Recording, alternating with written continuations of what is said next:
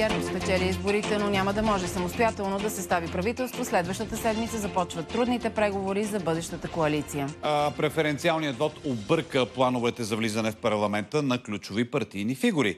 След изборния ден всичко за новите 240 сега в новините. И така, България избра петпартиен парламент. След вота картата на страната се отсвети в синьо. ГЕРБ печели в 18 области срещу 7 за БСП.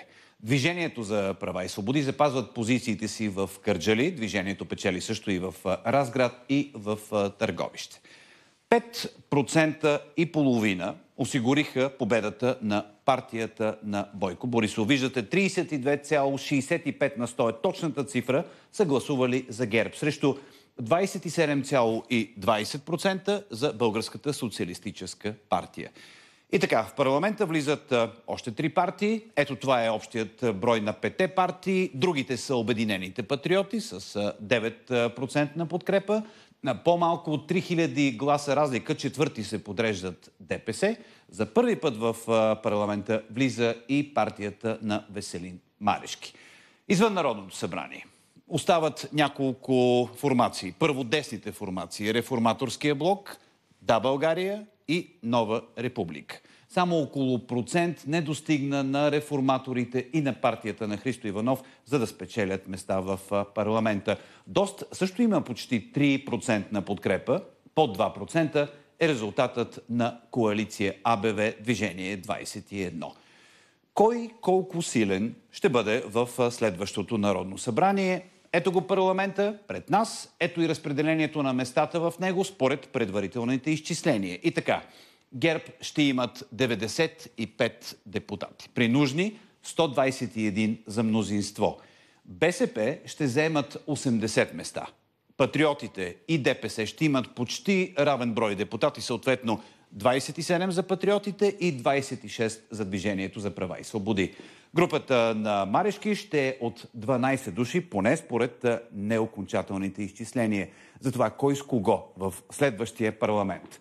Марина Стоименова сега за възможните коалиционни уравнения. Какво успя да изчислиш? Слушаме те. Добър вечер. Пет са партиите, които ще влязат в 44-то Народно събрание. Това означава, че с три по-малко от 43-то Народно събрание, логично би трябвало и вариантите за коалиции да са по-малко или не съвсем. Да видим.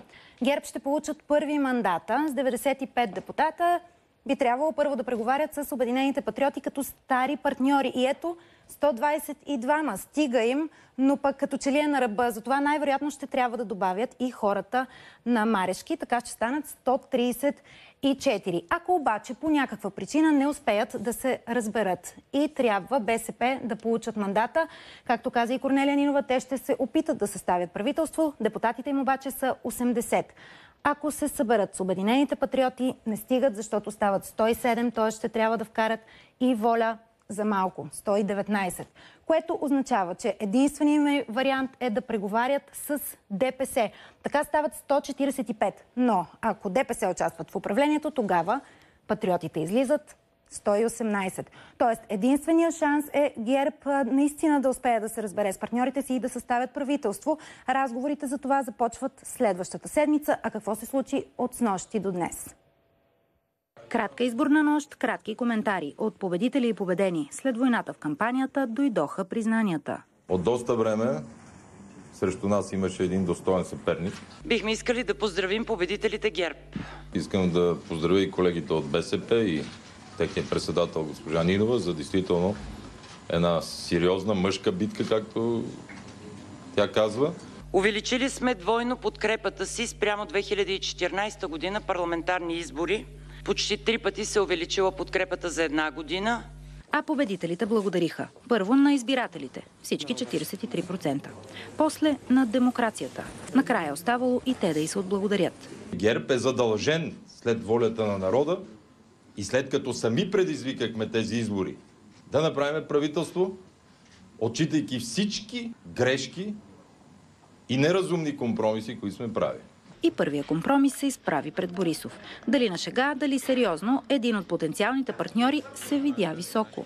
Министър-председателското Не, Министерство попитах сега. Това не е ред, не е... Министър-председателството е министерство. Абсолютно сериозно е. И няколко министерства също нямало да откажат. Марешки заяви, подкрепа по принцип няма да дава. Ако с ГЕРБ се разберат, ще делят управлението. Или влизаме и участваме, или ще бъдем колектив. А дали патриотите този път ще участват в постове в управлението, за сега не казват. Не казват и дали изобщо ще участват с Борисов. Възможно е да направим, възможно е да не направим, но в никой случай отговора няма да го получите в днешния или в утрешния ден. Всичко било въпрос на програми. За Борисов пък било въпрос на дълг. Всяко друго решение да повториме втората или третата или петата партия да прави правителство ни връща във времето на Орешарски. А от БСП не го изключват. Да повторят 2013 и да съставят кабинет с мандат от втори път. Ако те не успеят да съставят кабинет и на нас ни бъде връчен мандат, ние ще опитаме да направим правителство на България.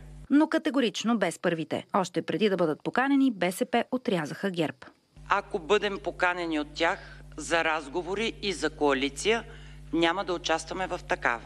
А без изгледи изобщо да бъдат поканени, ДПС предупредиха. Имаме три кабинета, които подадоха оставка и три пъти бяхме на предсрочни избори. Проблема е в формулата за съставяне на мнозинствата. А в ГЕРБ те първа ще мислят с кого да преговарят. Вътрешните им срещи започнаха днес. Обсъждахте ли с кои партии бихте могли да преговаряте евентуално в следващата седмица? Когато сме готови, ще ви кажем и изявлението ще от нашия лидер. Какво решихте?